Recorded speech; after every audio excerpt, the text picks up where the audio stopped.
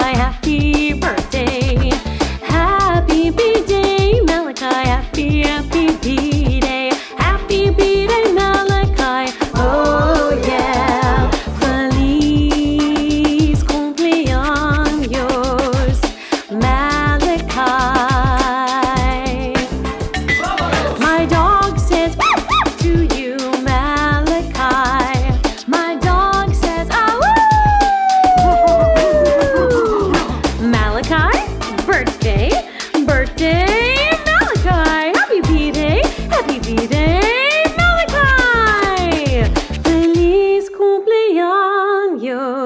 Malachi, yeah.